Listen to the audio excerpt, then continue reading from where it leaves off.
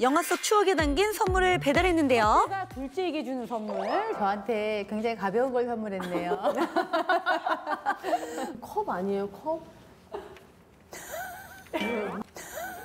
소리 씨를 당황케 한 선물은 바로 화장실에서 빼왔니? 둘째가 42평 이제 아파트로 이사를 갔어요 얼마 전에 수술 잘 풀리라고 휴지를 네, 잘 쓸게요.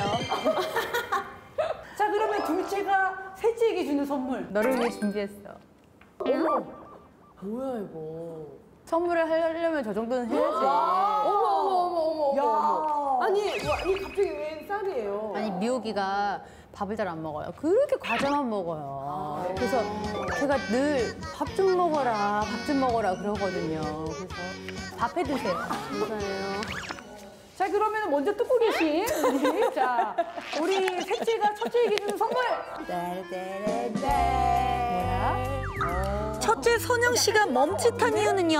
마음에 안 드세요? 자기 잘 나오는 사진을 줬네요. 이게 어떤 건지. 아니, 저는 이제 저희 셋이 담겨 있는 사진을 우리를 간직해 줬으면 좋겠는 마음에서 좀 예, 저렇게 액자를 준비해 봤습니다.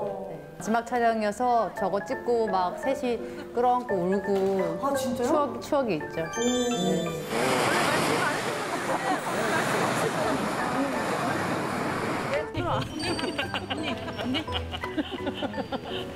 코로나로 힘든 시절 보내고 계신데요. 네, 너무 지치지 마시고요. 1월에는 네, 세자매를 우리 다 같이 만났으면 좋겠습니다. 힘내세요. 세자매 곧, 곧 찾아갈게요. 저도 꼭 보러 갈게요.